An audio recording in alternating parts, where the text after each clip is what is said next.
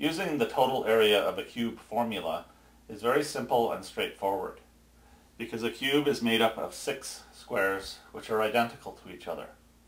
So if we know the area of a square formula, a equals s squared, and we calculate the area of one of those squares, we just have to multiply that answer by 6, and we must have the total area of the cube, the area of the four side walls plus the top and the bottom. Let's look at a couple of examples. In this case, we are asked for the total area, and we are given a side length of 5 centimeters. So let's plug a side length of 5 into the total area of a cube formula.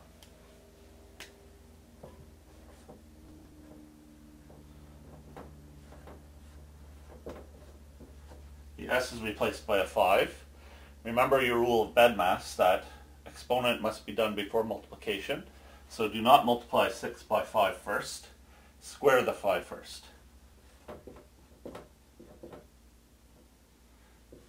5 squared is 25.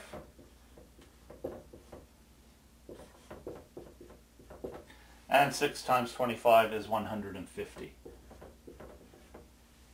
Because we were dealing with centimeters as our measure of distance, the area unit will be centimeters squared.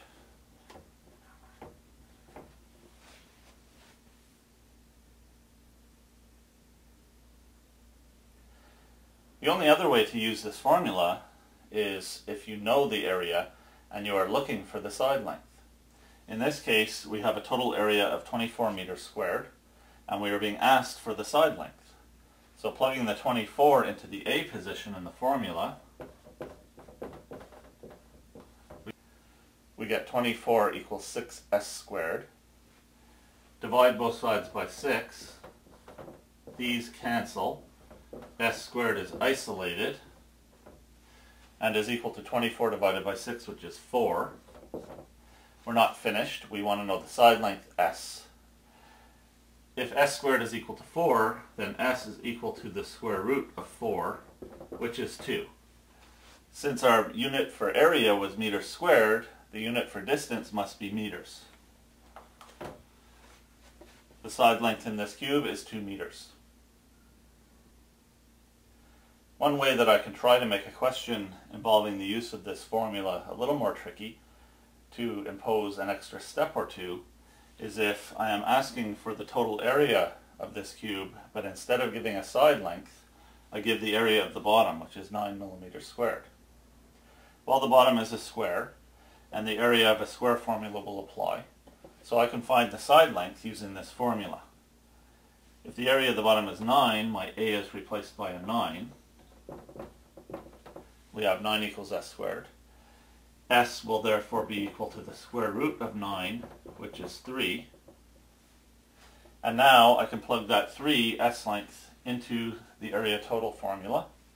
I get AT equals 6 times 3 squared, which is 6 times 9, which is 54. The unit of measure was millimeter squared, so this is still an area. It will also have a unit of measure millimeter squared. A shortcut can be to realize that the area of the bottom is equal to s squared. So that means the 9 millimeter squared area of the bottom is equal to the s squared in the total area formula. I can just directly plug 9 into my s squared position. And I have a total area of 54 millimeters squared.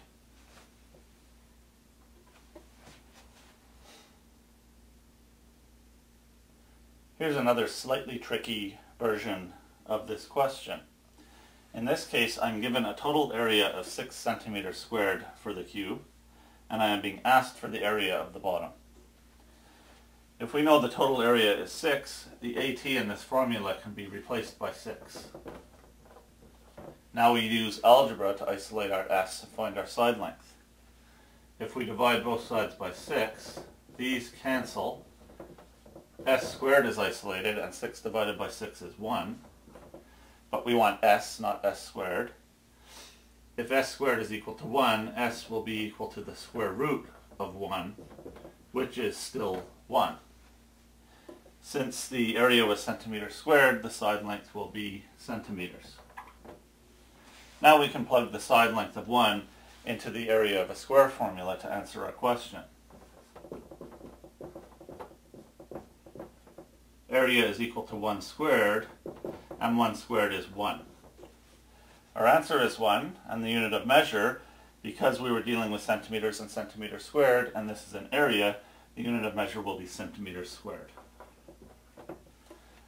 So one thing that makes this question a little bit tricky is that we're being asked for the area of the bottom, but not given the side length. We have to find the side length by using the total area formula.